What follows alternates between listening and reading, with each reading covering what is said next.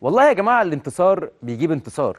قلنا كده كتير والفوز بيدي ثقة وبيدي كده سعادة للجماهير وسعادة للعيبة وجرأة للعيبة. آه امبارح كنا كويسين جدا جدا جدا في الشوط الأول. هدفين في ثلاث دقائق تقريبا ولا أروع. الزمالك في الشوط الأول كان الزمالك اللي إحنا عارفينه. لعيبة مركزة اللعيبة فايقة اللعيبة جاهزة. كل واحد بيبذل أقصى جهد عنده في الملعب. والشوط الثاني حصل شوية تراجع ولكن نتبسط نبص لنص الايه كوباية المليان كده. نتبسط باللي الزمالك بيرجع واحدة واحدة. بنستعيد قدراتنا فنيا وبدنيا وبنسجل بكرات جميلة بتسديده ولا أروع. من إمام عاشور بن شرقي بيظهر مرة تانية بروقانه بفوقانه بتركيزه في الملعب. زيزو ما شاء الله حدث ولا حرج. هدف بلوب عظيم جدا بأسيست من إمام عاشور. لعبتنا امبارح الشوط الأول ياخدوا امتياز صراحة. الشوط الثاني بدأنا شوية نقلق ولكن أنا سعيد. الجماهير كلها سعيدة.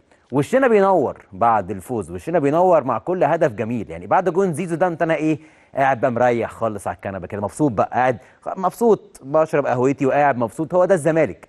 هو ده روقان اللعيبة. هو ده لعيبتنا اللي ما عندهاش ضغط. بتسجل بأريحية بنلعب بأريحية هو ده لعبنا اللي إحنا عايزينه. في مشاكل طبيعي كل اللقاء في مشاكل كل اللقاء في بعض التعديلات ولكن دفاعيا ظهرنا بشكل أفضل.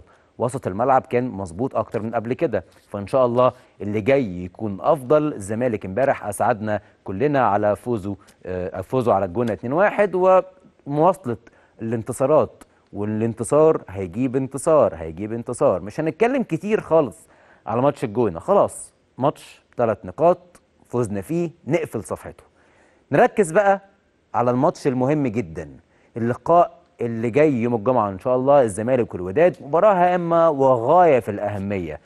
لبعض لبعض الأمور وبعض الاعتبارات كده. اولا ده ديربي عربي يعني كبير جدا. المكسب فيه ضرورة مش اختيار.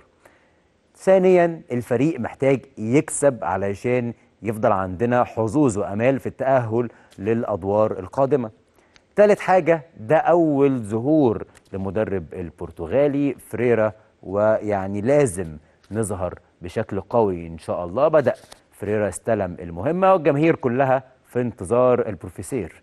رابعا استمرارية في تحقيق الانتصار والفوز الثالث على التوالي. ده مهم جدا جدا. خامس حاجة إن إحنا يعني وعندنا مزيد من الثقة في الملعب. عندنا قدرة أقوى في الملعب. لازم ثقتنا تزيد و- واللعيب من فوز لفوز من فوز محلي لفوز آه، آه، آه، أفريقي ياخد ثقة أكبر. اللعيبة بتبدأ تركز أكتر. الانسجام بيزيد طول ما المزاج رايق والمزاج والدماغ مركزة داخل الملعب مش خارج الملعب كمان. لازم ندعم لازم نشجع لعيبتنا وده اللي بيحصل دايما من جماهير الزمالك. جماهير الزمالك بتدعم في كل الأوقات. كمان أول ما عرفنا إن في فريرة كل الناس بدأت تساند بقوة وعارفين إن المباراة مش سهلة ابدا. عارفين المباراة أمام الوداد يعني هتبقى صعبة جدا. الوداد في أحسن حالاته على فكرة دلوقتي. الوداد حاليا في أحسن حالاته. يعني عنده مجموعة كبيرة من اللاعبين متصدر الدوري المغربي عاوز يعمل نتيجة إيجابية في الماتش اللي جاي علشان يضمن آه، تأهله. لكن الزمالك لازم يركز. وزي ما الوداد فريق كبير الزمالك فريق كبير وتاريخ كبير جدا. وزي ما إحنا عاملين الوداد حساب هم عاملين للزمالك ألف حساب. الزمالك في القاهرة اللقاء هيكون قوي جدا بين الشقيقين. ولكن إحنا في ماتش الذهاب كان عندنا بعض الأخطاء. كان عندنا بعض ال ال سوء التوفيق. سوء التوفيق أدت لأخطاء. يعني ممكن كورة عادية تقع من إيد جون أو تخبط في مدافع. ما تروحش بالشكل ده. ولكن إحنا الزمالك. إحنا الزمالك الحظ لازم يعمل معانا كده. عادي جون طالع يحط الكورة بال box. صعب جدا إنها تخبط بالقوة دي وتلف وتنزل هنا. لا فتلف وتنزل على وش رجل مدافع في زاوية ميتة تماما. فتروح في مكان صعب. يعني سيناريوهات ما بتحصلش غير معانا.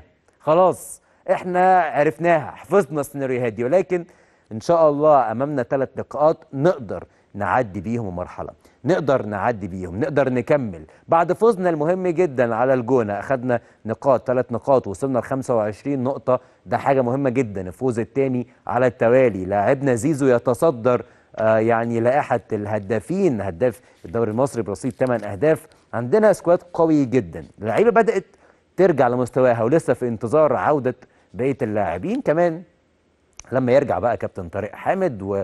ويكون في جاهزيته وفورمته الموضوع هيختلف تماما. جمهور الزمالك سعيد بالروح اللي موجودة. مش هقول سعيد بالمستوى عشان لسه مش ده المستوى اللي إحنا محتاجينه. مش هو ده الزمالك اللي إحنا عارفينه.